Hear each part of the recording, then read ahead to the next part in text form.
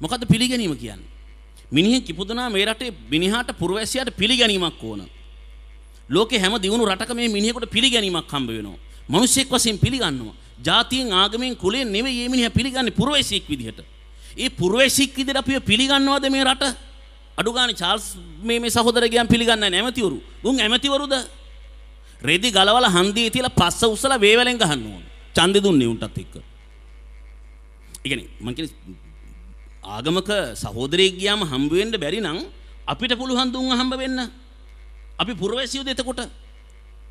ඇයි අපි ඔටුවද? අපිට පිළිගැනීමක් දෙන්නේ නෑනේ. තාමත් දැන් මෙතන මොන හරි කිව්වහම ඔය කවුරු හරි වීඩියෝ කරන් Facebook එකේ දැක්කම් බයිනෝ. ඕක බටහිර ගැතියා. බටහිර ගැතිය නෙමෙයි මං කියන්නේ මේක ඇතුලේ පිළිගැනීමක් දෙන්නේ. ඒක ඇත්ත. දෙන්නේ තින්ද නෙමෙයිද පිටරට යන්නේ. නිකන් ඉන්නග මං හිතන්. අපි හාමුදුරනේ වග්බඩ් රෝග ගැනත් කියනවා. ඇත්ත.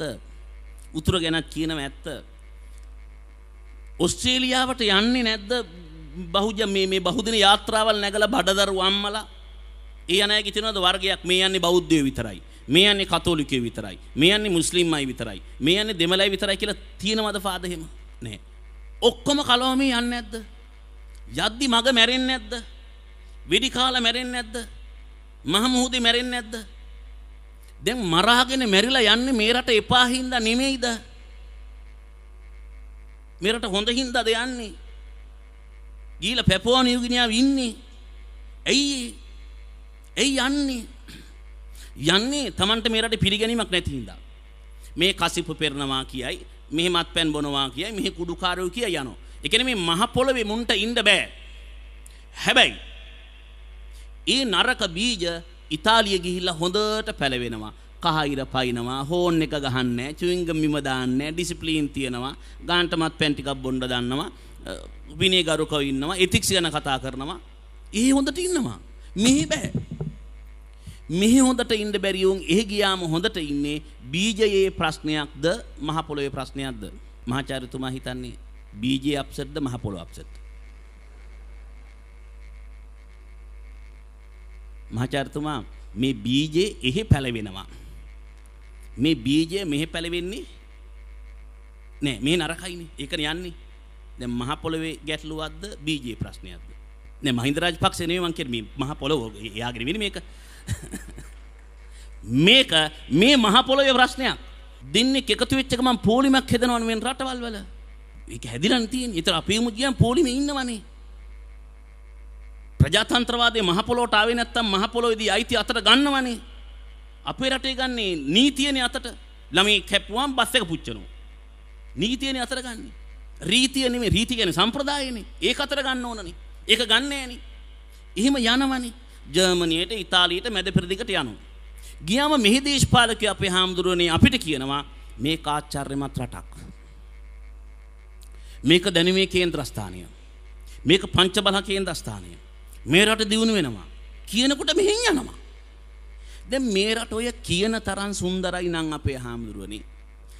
ෆාද මේක කියන තරම් ලස්සනයි නම් මේකේ කිය කාලොෆොන්සේක මහාචාර්යවරු පහුගිය ඡන්දේ කාලේ කිව්ව තරම් මේක සුන්දරයි නම් මහරජාගින එක හොඳයි නම් මම ඔබතුමා කාර්යයේ වාඩි වෙන්න නෑ හොඳේ මම ඊතර හිටි එච්චර හොඳයි නම් අපේ රටට එන්න ඕනේ හැමදාම බෝට්ටුවක් දෙකක් එහෙම ඇවිල්ලා තියෙනවා දෙකක් විතර. වත්තලට එනවා බෝට්ටුවක්. නේවි එකෙන් අල්ලනවා. එන්නේ ප්‍රංශේ ඉඳන්. ගෑනු පිරිමි සුදු ගෑනු බඩදරු ගෑනු ඉල්ල වත්තල හරියෙන් බහිනවා. ඉතින් පත්තරකාරයෝ ගිහිල්ලා අතර ඉන්නවා නුවන් ඉන්නවා. එයා නෙත් FM එකෙන් යනවා. මීට බෑ සිරස් සහෝදරයෙක් ඉන්නවා. ගිහිල්ලා වලද ඉන්ටර්විව් කරනවා. ඇයි ඔයගොල්ලෝ ප්‍රංශේ ඉඳන් මෙහෙ ආවේ? ඔයගොල්ලෝ කොහෙද ප්‍රංශේ? අපි එහි පැරිස් වල. ඇයි මෙහෙ ආවේ? අනේ ප්‍රංශේ ජීවත් වෙන්න බෑ. එහි පඩි මදි එහි කෑම නෑ. අපිට බැරිද දන්නේ ඔයගලන් ගෙවල් වල කොහේ හරි තැනක උයන්න පිහන්න හදලා දෙන්න. මේ ගෑනු කියනවා. ගෑනු ඊට පස්සේ කියනවා හරි ඕගලන්ට පුළුවන් මේ උයන්න පිහන්න යන්න මේ ඔය ඇතුලේ තියෙනවා ගම්පහ උඩුගම්පල පැත්තේ යන්න කොයි පැත්තේ ගෙවල් උයන්න ගන්නවා ප්‍රංශ ගෑනුන්ව. පිරිමි අපිට බැරිද දෙහියත්ත කණ්ඩි පැත්තේ පොල් කඩන්න යන්න? මොකද ප්‍රංශ ජීවත් වෙන්න බෑ. එහෙම එකෙක් එනවද? එංගලන්තෙන් එනවද හාමුදුරනේ අපේ රට කවුරු හරි එංගලන්තෙන් ඇවිල්ලා කියනවද මේ අනේ ඔක්ස්ෆර්ඩ් විශ්වවිද්‍යාලේ උගන්වනවා හොඳ නැහැ. කේම්බ්‍රිජ් වල හරි අප්සෙට් අධ්‍යාපනයේ බැරිද අපිව කැන්ඩල් කැම්පස් එකට ගන්න ජයවර්ධන කැම්පස් එකට අපිට එන්න ඕනේ ඒකයි එකෙක්වත් එනවද? එහෙම නැති වෙලා අපිට කියනවා මේක මරුලු. මෙහි ඉන්නලු. කිව්වහම නරකයිලු. මම හිතනවා මේ මහ පොළ වෙනස් කරන්න ඕනේ. ඒක ව්‍යවස්ථාවෙන්වත් පොලිස් කොමසමක් ගෙනෙල්ලවත් ජෝන මෘතුංග මහත්තයා ඉන්නවත් දන්නේ නැහැ. ප්‍රත්‍යක්ෂයි බෑ. පුළුවන් නම් කරලා පෙන්නන්න බෑ. මේ නීති ගෙනෙල්ලවත් මම හිතනවා මහ පොළොවේ මේ වෙනස දැයෙන්න ඕනේ. ප්‍රජාතන්ත්‍රවාදී සංස්කෘතිය මහ පොළොවට එන්න ඕනේ. මිනිස්සුන්ට දැනෙන්න ඕනේ. පුරවැසියන්ට අයිතිය කියන කෙන්ට ඕනේ. පුරවැසියන්ට බලය කියන කෙන්ට ඕනේ. උන්ට පිළිගැනීමක් දෙන්න ඕනේ. මා මේ වැඩේ අගේ කරන්නේ ඇයි? ඒ පිළිගැනීම සම්බන්ධව පොඩි ඉඟියක් හම්බ වෙනවා. එහෙම ඉඟි දුන්න නිර්මාණකාර ඉතිහාසය දකින්න. මර්සිලින් ජයකොඩි පියතුමා හම්බ වෙන්න ගියාම දවසක් මම විශ්වවිද්‍යාලයේ ඉද්දි එතුමා ගැන දෙසතිය සංගරාවගේ ලිපියක් අපි කියවනවා. පියතුමෙකුට නමක් දෙනවා පන්සලේ පිය නම. ඒ සංස්කෘතිය නරකයිද මොකක්ද ඒකේ ප්‍රශ්නේ? නේ? ඒ ලිපිය දැකලා මම මොහිදින් බෙට්ට කිව්වා පන්සලේ ගන්ටාර කියලා.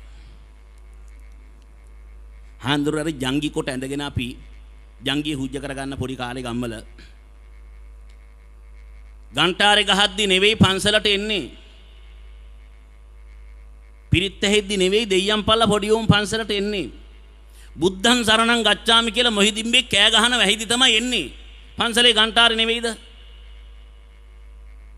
මන් දන්නේ පන්සලේ ගන්ටාරයක් තිබුණා. පන්සලේ පියනමක් හිටියා. චාල් සහෝදරයාට පුළුවන් නම් මේ සිංහල බෞද්ධය බහුතරයකින් රටේ පන්සලේ සත්සරේ වෙන්න. පන්සලේ ගීතේ වෙන්න. ඒකට පදනම හදා ගන්න පුළුවන් නම් මිනිස්සුන්ගේ මහ පොළොවට මේ කාරණාව ගෙනියන්න පුළුවන්. එහෙම ගෙනියන්නට ඒ හඬට හැකියාව තියෙනවා. අර අතෙන්දන් තුහිරේ කිව්වම් පිස්සු හැදෙනවා ඉන්දියාවේ හිටියනම් කොච්චර වටනවද අපරාධනේ මුම් මෙහි ඉපදලා තියෙන හිතෙන්නේ නැද්ද නිකන් එහෙම.